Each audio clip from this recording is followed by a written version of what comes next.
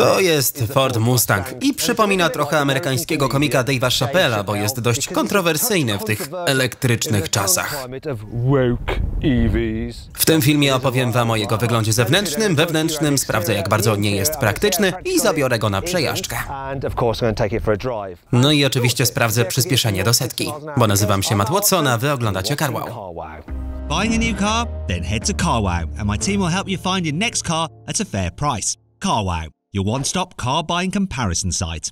Zacznijmy od omówienia designu tego Mustanga. Tylna część nawiązuje do starych Mustangów z dawnych lat. Zwłaszcza do gustu przypadł mi wygląd tylnych świateł.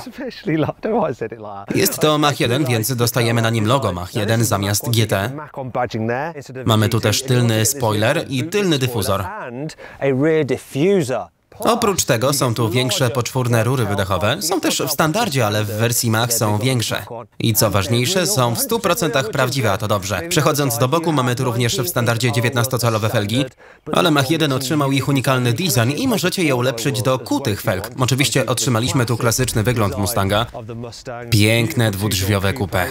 Z progami, z logiem Mach 1 tu i tam i z czerwonymi paskami zamiast napisu 5.0 w standardowej wersji.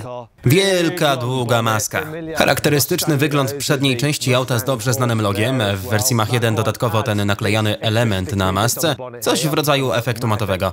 I te otwory, które są prawdziwe. Ale nie kumam o co chodzi w tym, w tych częściach tu. To po prostu puste kawałki plastiku. Dziwne. Jeśli wiecie do czego są, dajcie znać w komentarzach. Co więcej, Mach 1 posiada ten wyrazisty przedni splitter. Te wszystkie zmiany najprawdopodobniej pomagają w aerodynamice. Wyglądem wnętrza Mustang wraca do tych znanych nam z przeszłości, a jako że to Mach 1, ma unikalne wykończenie na desce, loga Mach 1 oraz ma też oryginalną gałkę zmiany biegów, która swoją drogą jest bardzo ładna. Cały projekt jest prosty w formie, łatwy w użyciu. Tutaj mamy ekran infotainment, któremu w standardzie brak nawigacji. Nie ma żadnych problemów. Dostajemy tu Apple CarPlay i Android Auto, a sam infotainment system jest w porządku, chociaż szału nie ma. Cyfrowy wyświetlacz kierowcy jest duży i ładny i zależnie od tego, w którym trybie jazdy jedziecie, tarcze nieco się różnią, patrzcie. W trybie race nie podoba mi się licznik obrotów, zmieńmy go z powrotem. Kierownica sprawia wrażenie sportowe, a co do pozycji kierowcy jest dość niezła. Ma wystarczającą regulację, gdzie do cholery jest... A, tu. Wszystko gra.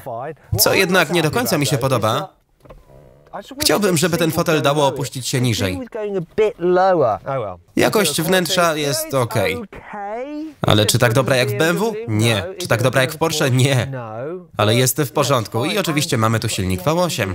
Więc myślę, że we wnętrzu ograniczają koszty. Co jednak jest fajne, patrzcie, mamy hamulec ręczny. Perfekcyjny do driftu. W kwestii wolnego miejsca, patrzcie, trochę miejsca tu, całkiem ok, mamy wejście USB i coś jeszcze, 12V gniazdko. Schowek nie jest zbyt duży, ale jest w porządku. Mamy tu też ten dziwny schowek, który jak mniemam jest na monety na parking albo coś takiego. Czy ktoś płaci za parking monetami w tych czasach? W każdym razie tam mamy kolejne wejście USB, kolejne 12V gniazdko i właściwie tyle powinniście wiedzieć. W kwestii przedniej części, ale oczywiście to kupę z tylnymi siedzeniami, więc zaraz się przesiądę. Muszę tylko pociągnąć te dźwignie i potem... E, tak, fotel nie przesuwa się do przodu. To będzie żenujące. Opuszczę jeszcze drugi fotel, żebyście wiedzieli, co tu w ogóle się dzieje. Irytujące. Kiedy go przesunę, widzicie, że miejsca na nogi jest na styk. Jednak mam wrażenie, że moje stopy są w pułapce na szczury. Nie mogę nimi poruszać. Jest też coś takiego, by pomóc mi się wydostać. To dobrze. Miejsca na głowę jest tak mało, że mam ochotę stąd od razu wysiąść. Trochę niefajnie, że trzeba opierać głowę na tym kawałku szyby. W przypadku nierówności na drodze uderzymy w nią głową. To będzie okropne. Jeśli chcecie zamontować tu fotelik, to nie ma na to zbyt wiele miejsca, ale może wam się udać, jeśli przesuniecie do przodu fotel pasażera. I gdzieś tu powinniście być w stanie znaleźć punkty do zamocowania, ale są dość dobrze ukryte. Można też opuścić tylne siedzenia, by zyskać trochę przestrzeni. Nie brzmiało to jak coś drogiego. Ogólnie nie jest tu zbyt przyjemnie. Można przejechać się na krótkim dystansie, jeśli trzeba, ale no... Jednak jest lepiej niż w Porsche 911, to przyznaję. Pojemność bagażnika w tym Mustangu jest niezła, wynosi 408 litrów. Dla mnie to więcej niż wystarczająca ilość miejsca. Problemem jest jednak to, jak się do niego dostać. Szczelina nie jest zbyt szeroka, a krawędź w tym nie pomaga. Zatem nie jest tak praktyczny, jak mogłoby się wydawać. A to przybliża nas do pięciu irytujących rzeczy o tym aucie. Jest całkiem dobrze wyposażony. Dla przykładu, ta wersja Macha ma w standardzie wentylowane siedzenia, co jest cudowne, jeśli lubicie chłodny tyłek. Jednakże jeśli ulepszycie fotele do Recaro, stracicie tę cudowną wentylację. Także w upalny dzień możecie skończyć ze spoconym tyłkiem. Normalny Mustang ma w standardzie adaptacyjny tempomat, co jest fajne. Jednakże jeśli zapłacicie więcej za Macha 1, wtedy go nie dostaniecie. Z jakiegoś powodu dostaniecie tylko podstawową wersję tempomatu.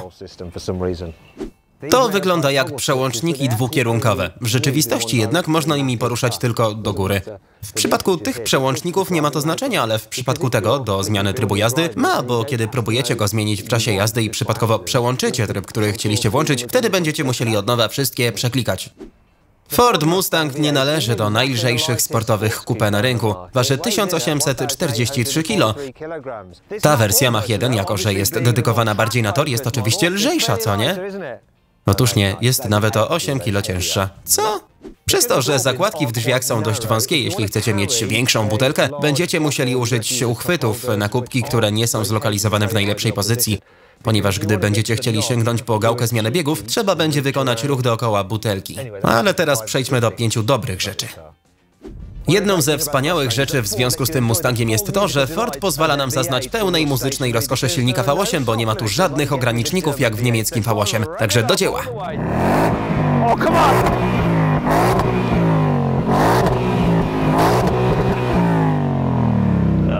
Uwielbiam to jeszcze raz.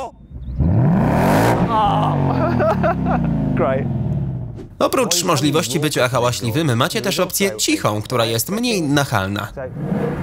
it's less intrusive. No, oprócz tego mamy tu nawet Quiet Start Mode, dzięki któremu możemy ustawić samochód tak, aby zaczął jazdę ciszej, więc nie będziecie przeszkadzać sąsiadom. Można nawet ustawić czas, żeby auto wiedziało, kiedy uruchomić Quiet Mode, jak na przykład wcześnie rano albo może późno wieczorem, w zależności jak ustawicie. Jeśli zdecydujecie się na wersję Mustanga Mach-1, dostaniecie ulepszone podwozie włączające w to sztywniejsze przednie sprężyny i stabilizator poprzeczny, zmienione amortyzatory, większe hamulce i specjalne dodatki, które pomagają w chłodzeniu hamulców, kiedy jedziecie po torze. Dostajemy też ramy pomocnicze z modelów Shelby, których nie dostaniecie w UK, zatem jest trochę bardziej sportowa. Jako, że to Mustang, uznano, że będzie fajnie, jeśli kierunkowskazy będą wydawać dźwięk kłusującego konia, także posłuchajcie.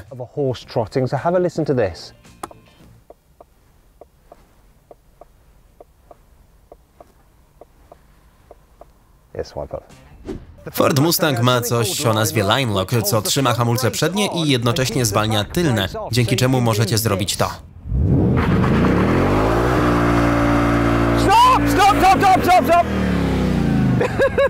Ciekawe, czy pozwolą nam jeszcze kiedyś tutaj wrócić. Chyba nie powinniśmy tego tu robić. Przechodzimy do głównego powodu przemawiającego za Mustangiem i jest nim to. W UK możecie go dostać tylko i wyłącznie z wolnossącym 5-litrowym e, V8. W normalnym modelu GT ma moc 450 koni, jednak dzięki nowemu układowi wlotu powietrza i nowej mapie w tych Mach 1 jest to 10 koni więcej, w sumie 460. To konkretne auto jest dostępne z 10-biegowym automatem, jednak jest możliwość dostania Mach 1 z 6-biegową manualną manualną skrzynią, jeżeli taką wolicie. Dobra, zobaczmy jak sprawdza się ten Mustang na drodze, zaczynając od miejsca, dla którego zdecydowanie nie został zaprojektowany. Zaczynam od miasta, bo aby dostać się na kręte drogi, najpierw po drodze mamy kawałek miasta, więc przy okazji zobaczymy jak sobie tu poradzi. Pierwszą wartą odnotowania rzeczą jest manualna skrzynia biegów. Wspaniała. Nie jest męcząca i sprawia naprawdę miłe, solidne odczucie. Oczywiście większość Mustangów ma automatyczną skrzynię, ale jeżeli jeździcie nimi na automacie, skrzynia biegów czasem losowo przełącza biegi w górę i w dół, tam jest aż 10 biegów. Lepiej jest jeździć w trybie manualnym z łopatkami do zmiany biegów. Manualna skrzynia jest dobra, chociaż można trochę się zmęczyć w czasie jazdy w korku.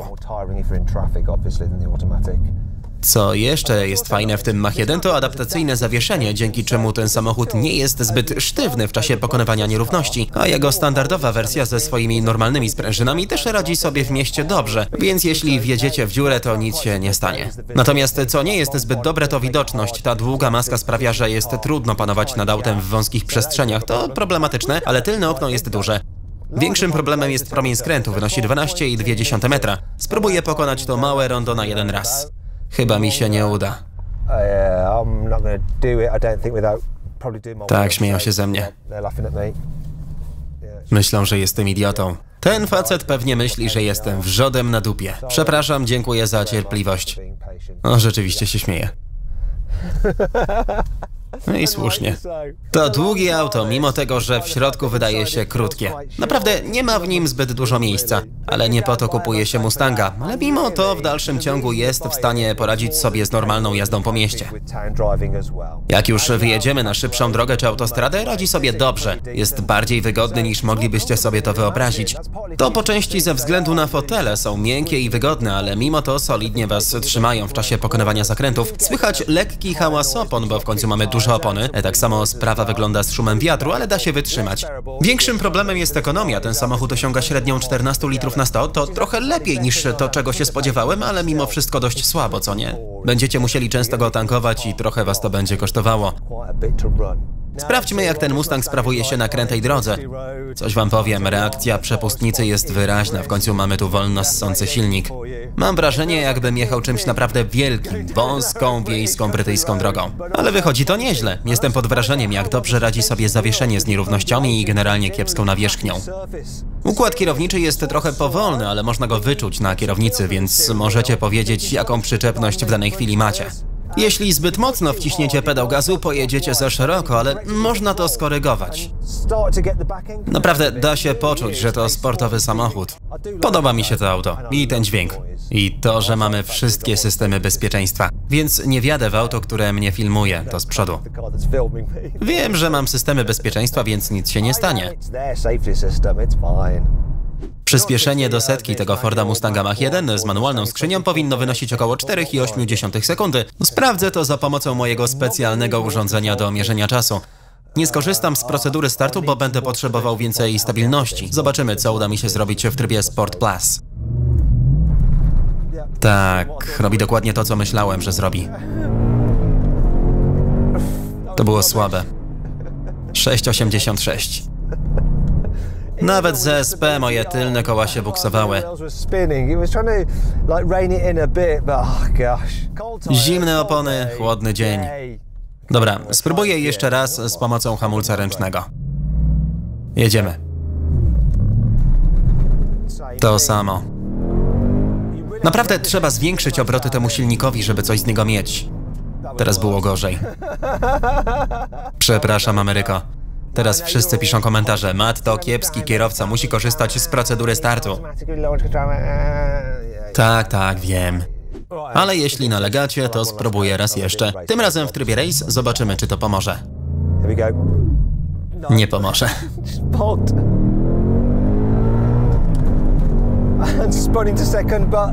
Ale udało mi się uzyskać lepszy czas 6.01. Dobra, jeszcze raz.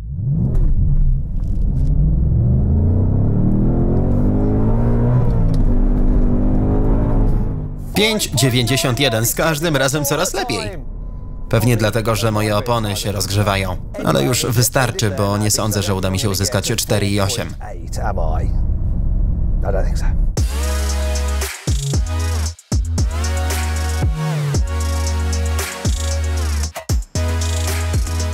Co myślę o Mustangu? Powinniście go kupić, unikać, rozważyć, dodać do listy, a może kupić od razu. Będą tacy, którzy po prostu chcą mieć Mustanga, także takie osoby mogą śmiało go kupić. Jednak co do wszystkich pozostałych, wydaje mi się, że jeśli szukacie sportowego kupę, powinniście go rozważyć. Ma pewne wady, ale jest też uroczy. Mam nadzieję, że film się podobał. Jeśli tak, zostawcie łapkę w górę. Dajcie znać, co wy myślicie o Mustangu w komentarzach. Jeżeli chcecie zobaczyć więcej filmów, one są tutaj. No i jeżeli klikniecie w to kółeczko, to przeniesiecie się na nasz kanał. Tam czekają na was wszystkie nasze filmy. Dzięki.